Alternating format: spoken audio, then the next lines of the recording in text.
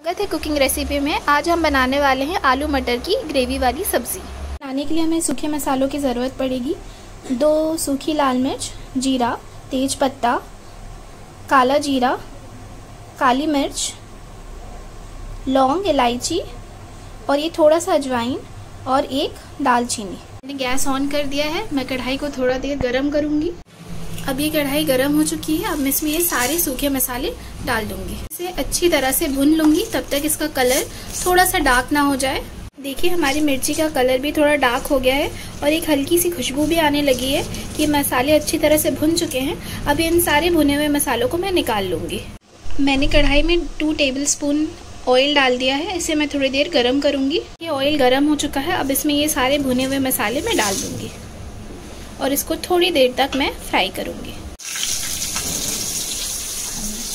देखिए, मैंने दो हरी मिर्च डाल दिया है। अब मैं इसमें कटे हुए लहसुन डालूँगी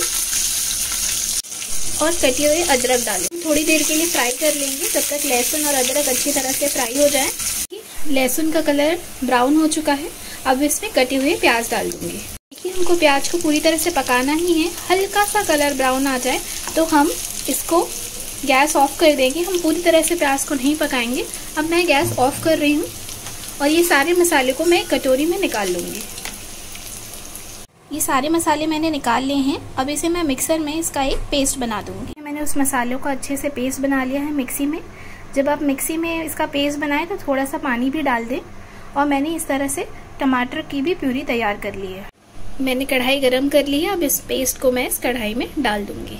इसे हम थोड़ी देर तक पकाएँगे, जब तक ये ऑयल पूरी तरह से ना छोड़ दे। देखिए, मसाला पक गया है, इसका कलर भी हल्का ब्राउन हो चुका है।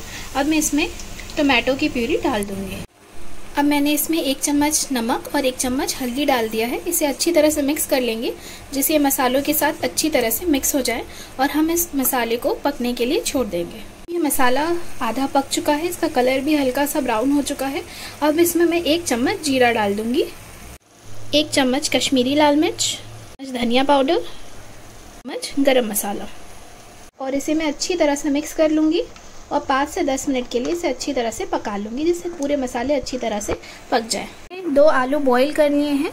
मैंने कुकर में बॉईल करते टाइम इसमें एक चम्मच नमक भी डाला था। को भी आप 10 मिनट के लिए पानी में भिगो के रख लें। मसाला अच्छी तरह से भुन चुका है। अब मैं इसमें पानी मिक्स कर दूँगी। मसाले के साथ अच्छे से पानी मिक्स हो गया है। अब मैं इसमें बॉईल पोटैटोज डाल दूँगी। मैं इसमें मटर डाल दूँगी। हम इसे ढक देंगे, जब तक पूरी तरह से मसाले आलू और मटर में मिक्स हो जाए। हमारी सब्ज़ी अच्छी तरह से पक गई है? अब इसमें थोड़ा सा कस्तूरी मेथी डाल दूँगी। इसमें कटी हुई धनिया पत्ती डाल दूँगी और इसे मैं निकाल लूँगी। आलू मटर की सब्ज़ी तैयार है। इसे आप रोटी या चावल किसी के साथ भी खा सकते हैं। अगर आपको ये वीडियो पसंद आता है तो प्लीज़ इसे लाइक कीजिए शेयर कीजिए सब्सक्राइब कीजिए।